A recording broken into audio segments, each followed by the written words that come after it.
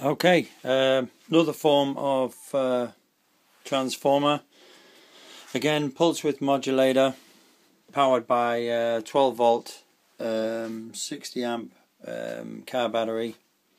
So through into the input side, the primary, it's stepped up through out through to this light. Um, just a quick demonstration. Can hear the systems oscillating.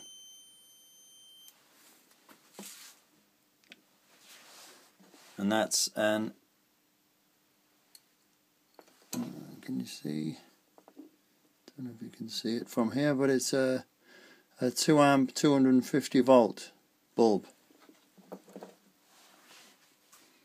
Um, another interesting uh, idea coming up. Stay posted.